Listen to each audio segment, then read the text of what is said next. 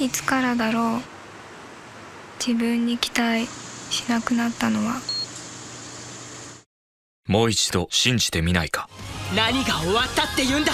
あなたが決めることじゃない。君のなすべきことをそのままの君でやってみるといい。テイルズ・オブ・エクシリア未来は自分を信じた時から変わり始める。